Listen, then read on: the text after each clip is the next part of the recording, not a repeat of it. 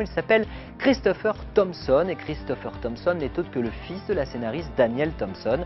On lui doit notamment les scénarios de quelques-uns des plus grands succès du cinéma français, La Grande Vadrouille en 66, Les Aventures de Rabbi Jacob en 73, La Boom avec Sophie Marceau en 80 et aussi La Bûche ou Décalage horaire en tant que réalisatrice.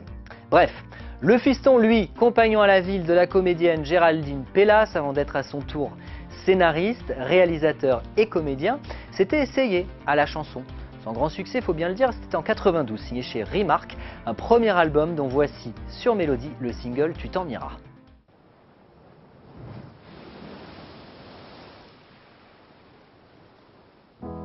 Tu t'en iras comme une larme. Un peu de sel, une goutte d'eau. Que font les larmes à nos visages après nos peines et nos orages? Que font les larmes après nos peaux?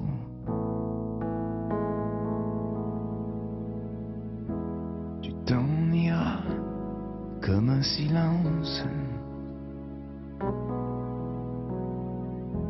comme une page sans écrit.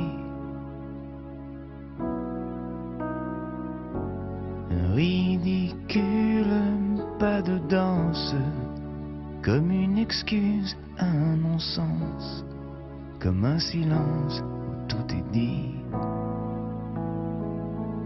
Tu t'en iras.